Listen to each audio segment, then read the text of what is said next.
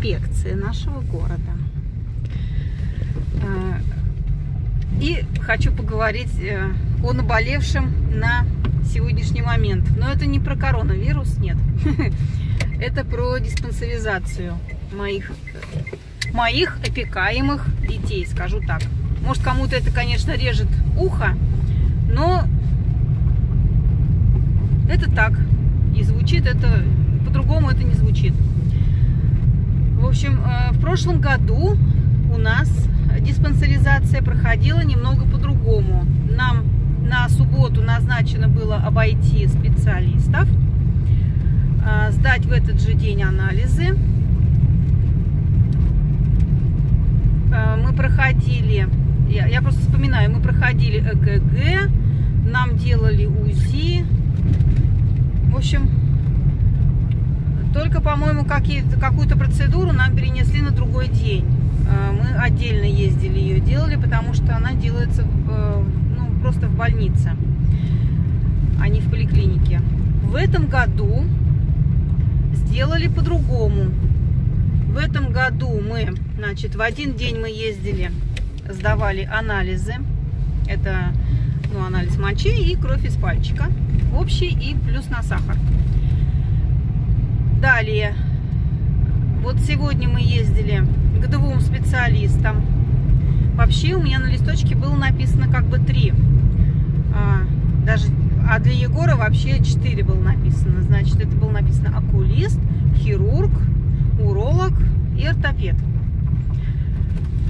Но ортопеда мы не застали. Мне на листочке написали с 12 до часу, а ортопед был до 11. Он, в общем, утро принимал. На что мне хирург сказала, что вообще скажите спасибо, что согласились даже вот эти два специалиста вас здесь посмотреть. Ну, я, конечно, сказала спасибо, меня долго просить не надо. Вот. Э, что хочу сказать. Наши дети никому не нужны. Вообще никому не нужны. Мы за специалистами должны бегать. То есть вот в тот день, когда мне назначено было, я еще должна была, э, как говорится, найти еще этого специалиста, чтобы пройти. Ну, хирург и уролог это в одном лице. Окулист нас осмотрела, моих детей. Э, ортопеда мы будем ловить. Потому что я уже в прежнем ролике говорила, платно мы пока больше ходить не будем. В общем, мы поистряслись. У нас сейчас не особо с деньгами, чтобы вот это все проходить платно. Вот, дальше, что у нас, значит, потом, через день, так, нет, не через день, 25 числа. Мы поедем делать а, УЗИ и ЭКГ. А 26 числа мы опять поедем а, проходить еще двух или трех специалистов а, в поликлинику. В общем, вот так нам раздробили. Я не знаю, кому это удобно. Мне, например, не очень удобно. Конечно, у нас есть машина, и мне было бы удобнее, если бы меня спросили, на какой день бы мне это было вот лучше, да? Никто не спрашивал. Сделали так, как удобно врачам. Ну, понятно, нас там много, а врачей мало. что у нас из неприятного? Из неприятного то, что э, у Снежи тоже под вопросом астигматизм. Это вот окулист. Сказала, что нужно записаться к ней на прием. Она у нас теперь один доктор осталась на весь город. Записаться к ней очень сложно, поскольку детей много, а доктор один. Нашей поликлинике теперь нет. Вот, и она мне сказала, ну вот видите, у вас у Егора вот назначение, все, где вы это все делали? Я говорю, мы делали в платной клинике, нас на вокзале. Ну и со Снежей туда же езжайте, вам там все сделают. Я говорю, ну понятно, что нам все сделают, но мы больше не поедем, пока платно. В общем, я не знаю, как это все происходит в других городах. Я не думаю, что это все по-другому, наверное, так же. Наверное, также родители плюют на то, чтобы э, действительно полис, не полис. Но когда надо, да, достаешь деньги и идешь платно. А вообще, э, так как я, вот, например, веду документы, да, у меня у мужа предпринимательство, я в курсе, сколько мы оплачиваем в фонды. И в пенсионный, и в тот же фонд обязательного медицинского страхования. Суммы идут немалые. И вот уплачиваем мы взносы, а детей, я про себя вообще молчу, а детей мы вводим платно. В общем, мне это очень не нравится. Не знаю, кому еще это понравится, наверное, никому не нравится. Что у нас еще какие новости? Сейчас мы едем на другой край нашего города. Я заставила Сергея Витальевича. Он уже мне предложил ключи от машины, говорит, а я домой на автобусе. В общем, у нас на окраине города есть поселение, называется поселок Первомайский, да? Правильно я называю это? Поселок Первомайский. Там э, вот эта вот девушка, которая является координатором клуба 28 петелек, она э, там работает, в клубе. В общем, я везу вот те носки, которые я показывала в ролике, связанные бабушкам, дедушкам. Они будут передавать, когда они накопят большой пакет вязаных вещей. Волонтеры навяжут, они поедут передавать. А я просто вот везу отдать. И заодно поснимать наш городок. Дети потом с удовольствием смотрят вот эти вот дороги. Какие дороги? Как мы снимаем. Какие дороги? Нормальные у нас дороги. Нет, у нас дорог. Есть. Смотри, какие хорошие. Все у нас есть. Я уже говорила, они у нас японские. То яма до канала. Да, кстати, вчера я еще была на приеме. Без детей я ездила, а, чтобы уж их не таскать, потому что у нас карантин вот в поликлинике в центральной. А, ездила к неврологу еще а, по поводу и Василисы, и Егора. Василисы тоже энцефалограмма, в общем, не очень-то, не айс.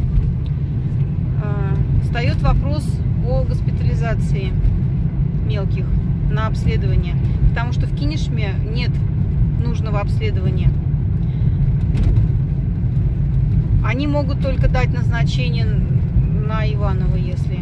А кататься туда-сюда тоже неудобно.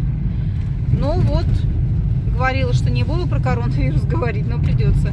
В общем, я не знаю, в связи с тем, что сейчас вот как бы карантинное мероприятие, как оно с госпитализацией, то, наверное, мы пока немного подождем. Это не так уж смертельно. Подождем до апреля, посмотрим, что там дальше будет.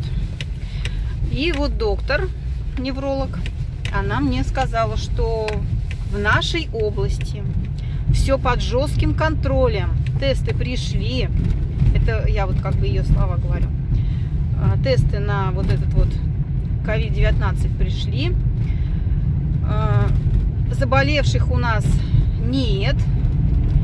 Те люди, которые приезжают из других стран, списка как э, подверженных, скажем, вот этому заболеванию, да, есть же список официальный. И сажать на Сергей Витальевич. А, они должны, они подписывают документы о том, что они подвергают себя самоизоляции, и в случае заболевания они сообщают. Вот. Ну вот, не знаю. В общем, слова доктора были такие вот убедительные, что все под жестким контролем. Вы представляете, у нас как работают службы и опитнадзор, и вообще все у нас жестко. То есть мышка не пробежит, скажем так. А сейчас, вон Сергей читал про профессоршу, бабулечку. На исходе ей уже было бы 80 лет, но не дожила. Умерла от последствий коронавирусной инфекции ну, так как у нее был букет сопутствующих заболеваний, и организм просто не смог побороть эту инфекцию, и она от осложнений скончалась. Бабульчика непростая. Бабульчика профессор... Сереж, кого она там профессор-то? Чего-то университет какой-то с газом что-то связанное. Нефти и газа. Нефти и газа, да. Вот. Теперь, значит, ее окружение, там 120 студентов и 25 преподавателей, они тоже под контролем. Она до последнего ходила на лекции, читала их преподавала. В общем, пока ее не госпитализировали. Ну, вот так. О чем разговор? Если человек грамотный и умный, делает так, что же будут делать люди неумные и неграмотные? Да, они чихали на этот коронавирус, а некоторые даже и не слышали о нем. В общем, вот так. Вот мы опять к кольцу подъезжаем. Сейчас. К золотому. К золотому, да. Там будет поворотка на поселок Первомайский. Меня рука уже устала держать телефон. Прежде телефон был легче. Этот такой побольше размером, но зато он снимает лучше. Картинка лучше получается. Такие у нас тут домики. Очень, наверное, пыльно здесь жить. У нас-то вот машин мало в улице, но пыль копится, очень сильно копится пыль. А тут, наверное, вообще сплошная пылюка. Вот опять наши дороги замечательные. кого-то и таких нет, Сереж. Ну, вот там развязка кольцо. Ну, сейчас я, наверное, буду выключать, потому что сейчас будет все прыгать и скакать. Все видео.